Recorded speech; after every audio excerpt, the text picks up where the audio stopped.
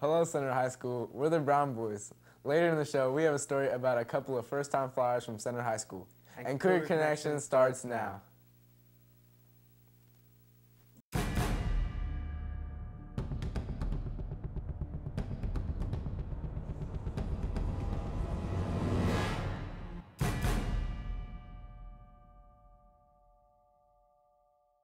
Now it's time for the bulletin for Thursday, April 14, 2016.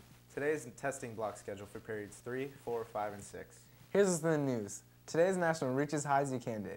Today is about reaching high, higher than we think we can. We often become complacent. National Reach as High as You Can Day is just a reminder not to let your dreams go adrift. Reach for them. Reach as high as you can. There's one thing you may not be able to reach very soon. The yearbooks are selling out this year. Get yours now before they are out of reach. If you want your photo used in the Moving Up or Senior Slideshow, please send them to chsmoving16 at gmail.com.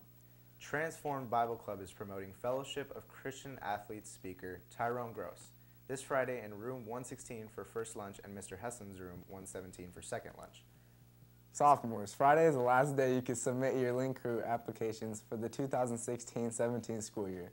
Seniors, your panoramic picture is Monday during advocacy. Wear your class or senior shirt. Picture order forms are available in your English class. Juniors, you have a class meeting in the theater during advocacy on Monday. Pre-order your Krispy Kreme donuts Monday through Wednesday next week to be picked up Friday morning. The price is $10 per dozen. Want to be a part of student government next year? Pick up an election packet in the Student Center starting Monday. Packets are due Friday, April 22nd. Senior Singers, National Anthem tryouts for Senior Awards Night and graduation are Friday, April 22nd during, during lunch in the Leadership Room, 603. The dance production through the library is tonight and tomorrow night at 7 p.m. in the theater. Tickets cost $10. Now it's time for our feature. Student producer Griffey Peters has this story to tell about the first-time flyers.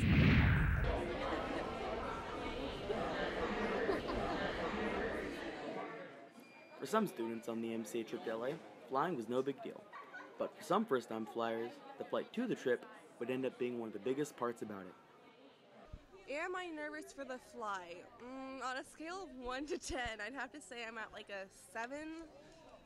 Only because of movies I've seen and shows I've watched.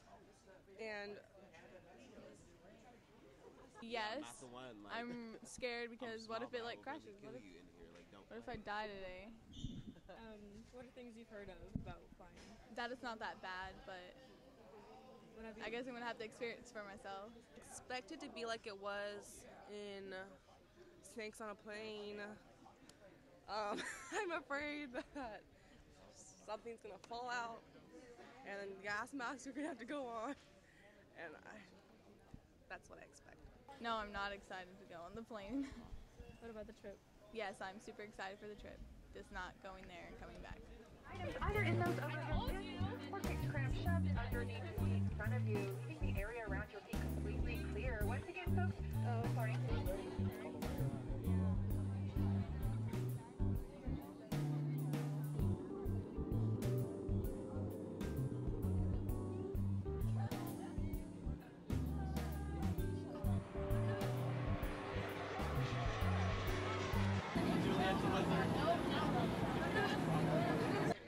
I just got off the plane.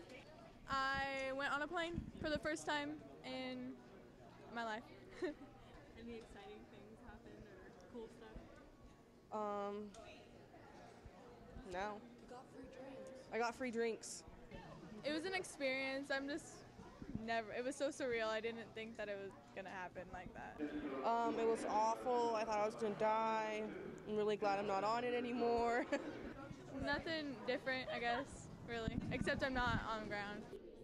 Now the flight was over, and our former first-time flyers and the rest of the MCA family could go on and enjoy their trip. Reporting from CTV, I'm Griffey Peters.